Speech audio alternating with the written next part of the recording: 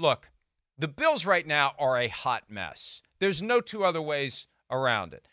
Last Monday, nine days ago, Sean McDermott was asked, and I know that this is one of those situations where you can't bare your soul and you can't say when you're asked, are you giving any consideration to changing your play call? Or you can't say, you know what, I am, and I have been. And if this guy doesn't get his act together soon, he's going to be out the door. You can't say that. But still, the sound bites out there of no, just no. Any consideration? No.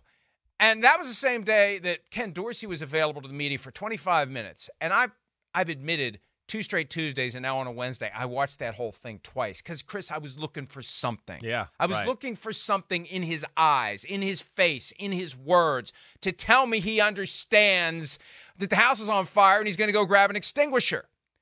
And there was nothing there. It was word salad. It was cliche. It was non answers. And it's like, where's this thing going? And where it went was Monday Night Football, a game they should have won. After the game, Sean McDermott said he's going to take 24 hours and think about things in response to the question of whether he's doing something drastic. He did something drastic in less than 12 hours. Dorsey is out. Your first reaction? Oh, I, I, I was I was surprised. I was. I didn't expect a change like that to come at, at this moment. I did not.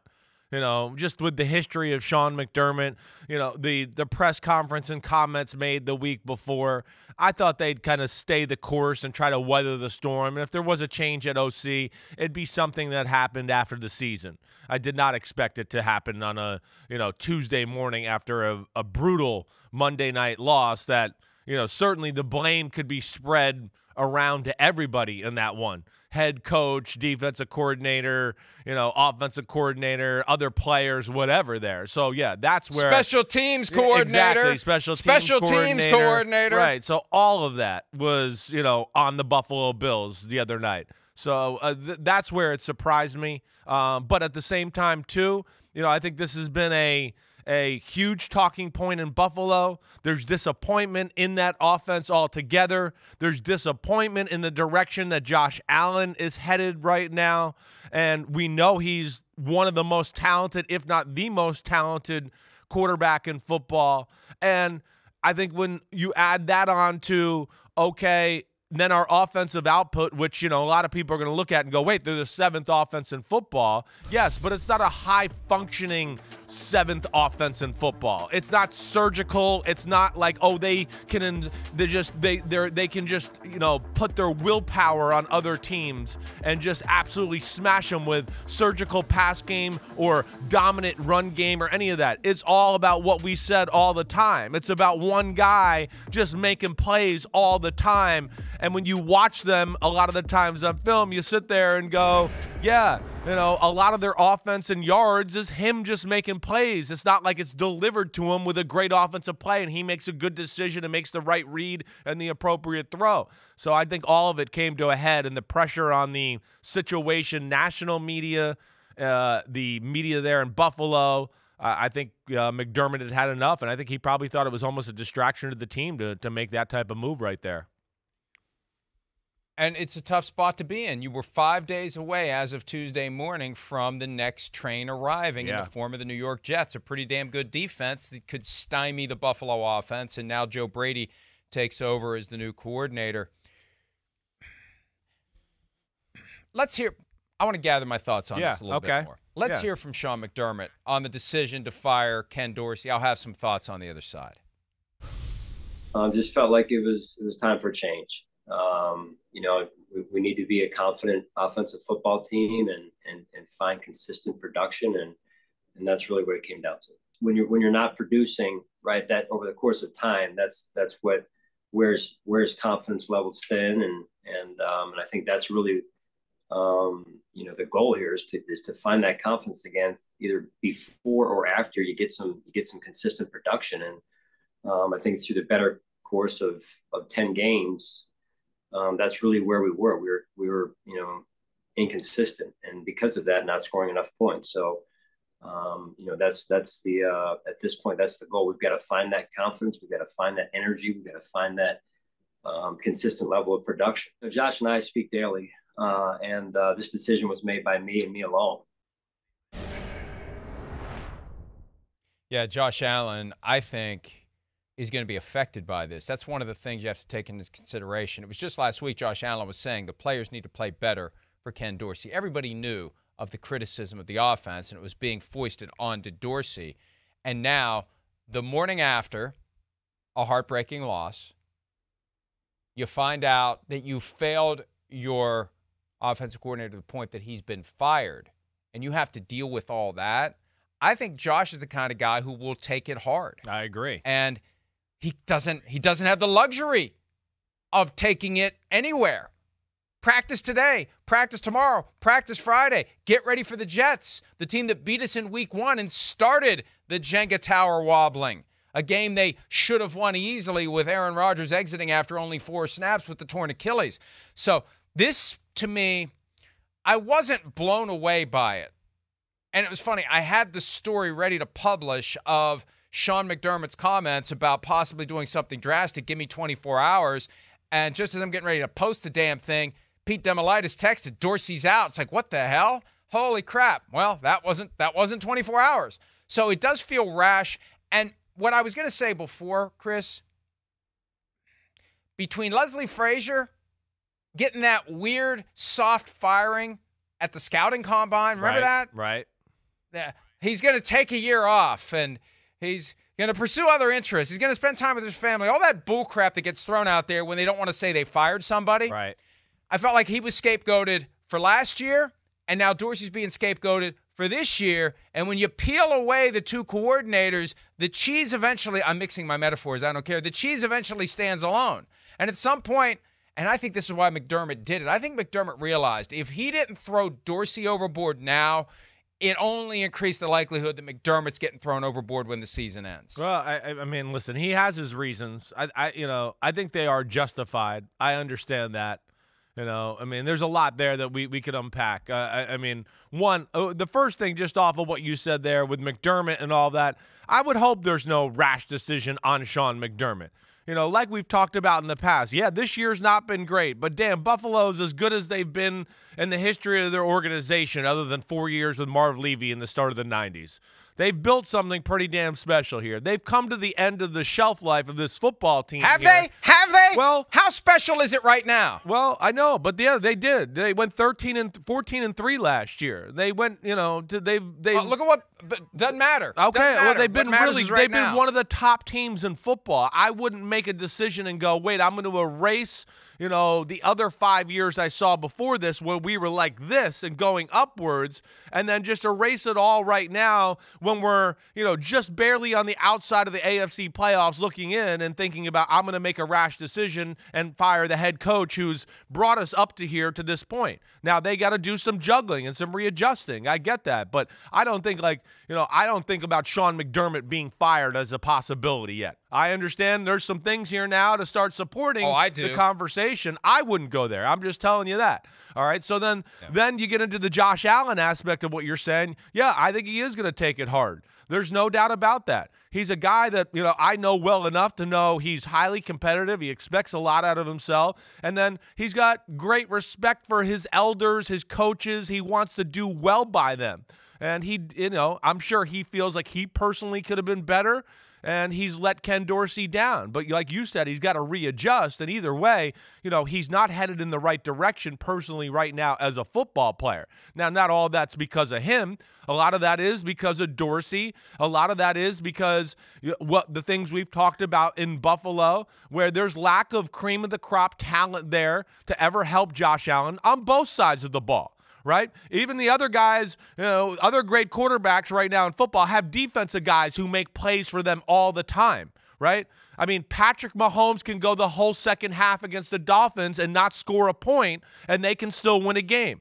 That doesn't ever happen in Buffalo. That doesn't ever happen. So he's not afforded the luxury of ever being off or anything like that because he is the freaking team. And, you know, because of that, he and maybe Ken Dorsey not being good enough and maybe not putting the hot poker on his ass just like a Brian Daboll would, you know, he's lost control a little bit. He's lost that line of aggressive and reckless, and he's going over to the reckless side a little too much right now. And then I think when you couple that with the offense and you go, wait, what the hell are they like every game? And I say this on my podcast a lot, Mike and I know you don't listen and you shouldn't because you have to listen to me enough. But I'm always my thing with them too is what are they trying to accomplish?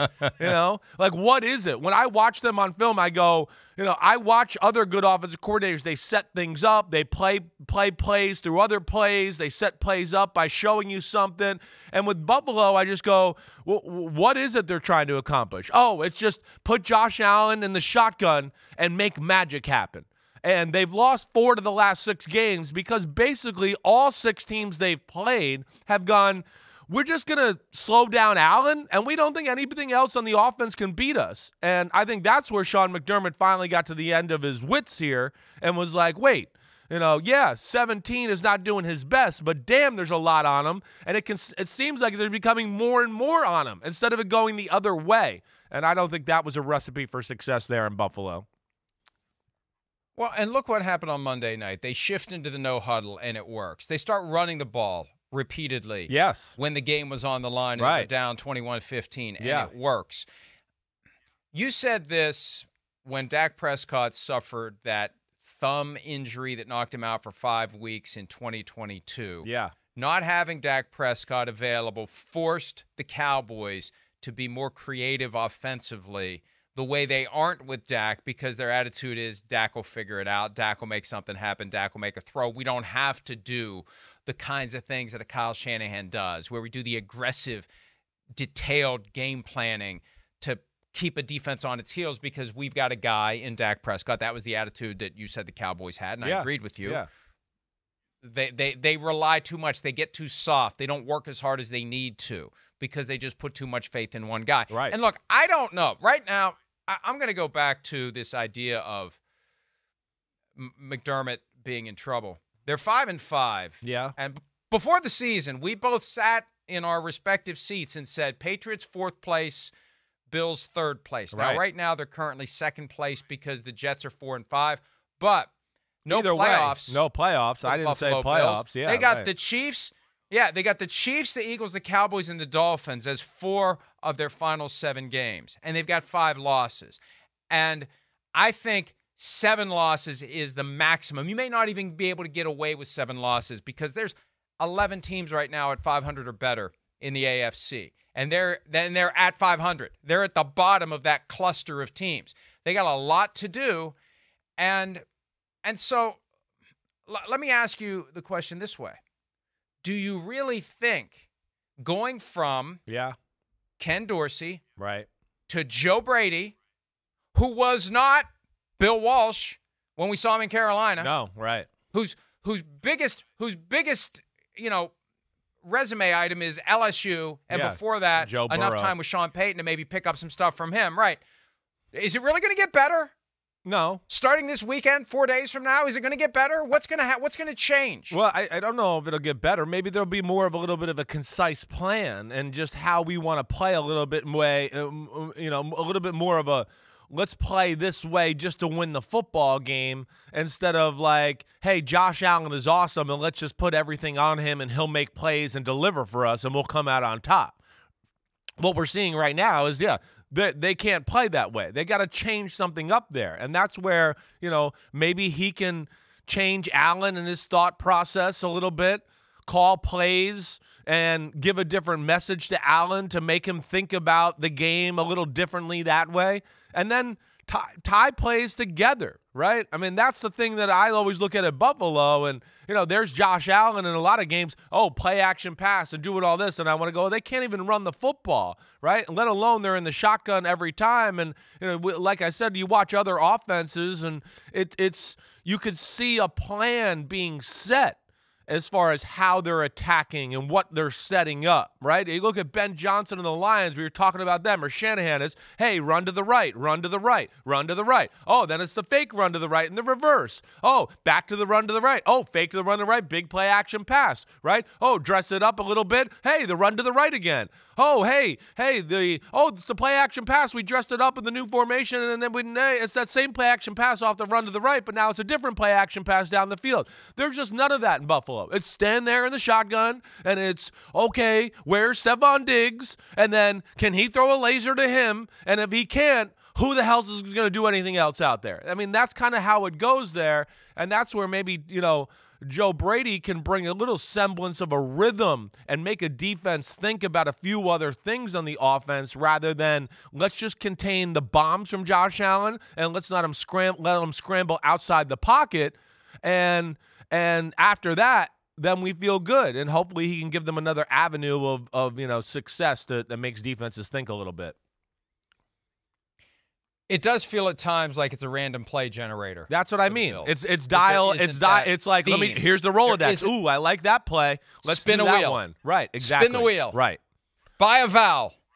Yes. And you know, You Mike, mentioned Stefon Diggs. the other the other thing to to to ahead. the whole thing too, I just see like you know I see people out there ranking Daboll's offense with the Bills to Ken Dorsey's. Right. I've seen that on social media because they're very equal in their ranks. And I would go, yeah, they're not really equal in their ranks. Really, Josh Allen and what they've done. Yeah, what? What do you want to say? Go ahead. You could push back on. There's me. only one rank that matters. yes. No, I'm agreeing with Yes, you. right, That's right. bullshit. It is bullshit. Wins and losses, It's- eyeball test. Right. It's a fundamentally exactly. different team without Brian when Daboll, Daboll there. was the offensive coordinator and in big games, Buffalo thrived. You know, with with Ken Dorsey as the offensive coordinator in big games, if Josh Allen didn't thrive and just make magic, they didn't thrive at all. I mean, you think about even some of their wins this year and what they did. The Giants game, right? That one.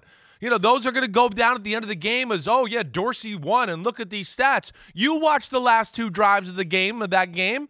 You came in the Monday morning going, Josh, uh, well, did you, Josh Allen, those last two drives? I mean, some of those plays, those throws. It wasn't like, whoa, what a game plan, and this guy was open over the middle, and then this guy was open, and then they threw a screen here, and then it was Josh Allen ran this way and threw the ball that way, and Josh Allen ran this way and threw it backside of the guy's head perfectly. It's always that. You know, let alone in even games like Jacksonville Jaguars or some of these other games that we can dive into, there's a lot of BS late game stats that, yeah, they make the end of the year rankings or the rankings look good, but in the competitive part of the football game, when it was still in the balance, the offense disappeared.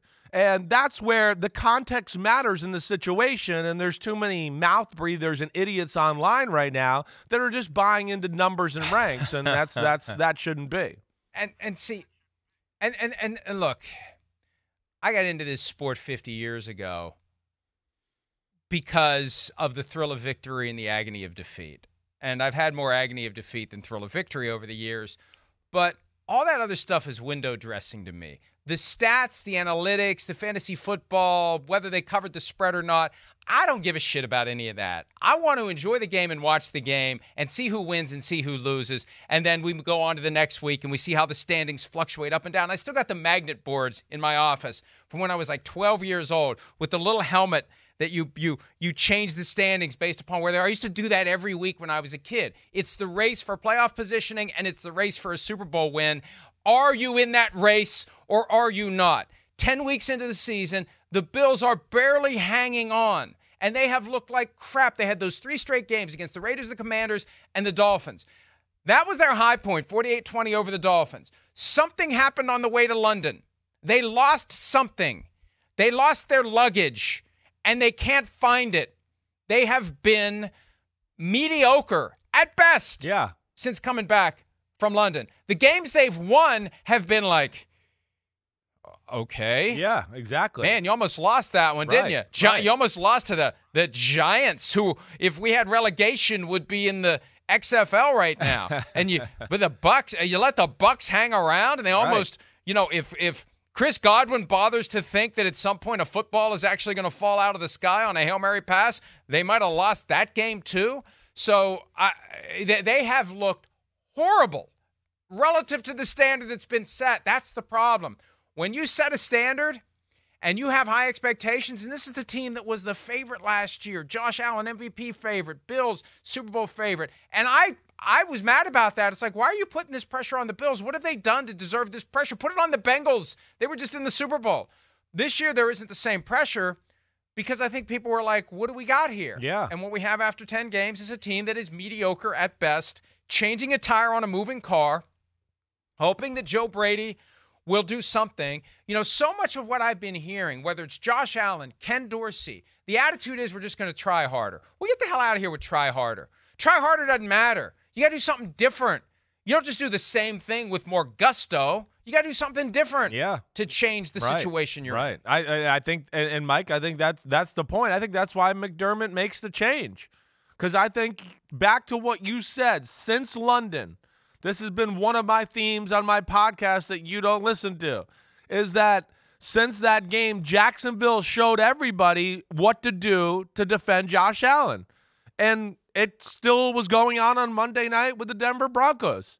If you watch the, these games as of late, ever since the Jacksonville game, really for the most part, teams go, we can't let them throw 50 yard bombs. If we take that away, and then if we just like kind of mush rush them to where we don't give them lanes to run up the middle, all right? And then even our edge guys, even like here, right there, they the edge guys don't really want to go past Josh Allen because they just wait and go, wait, no, if Diggs isn't open, nobody else will be open. So let's just make let's get ready to make a break when he runs to the edge. Look, again, here's another one, right? Everything is about two things. Don't let him throw a bomb.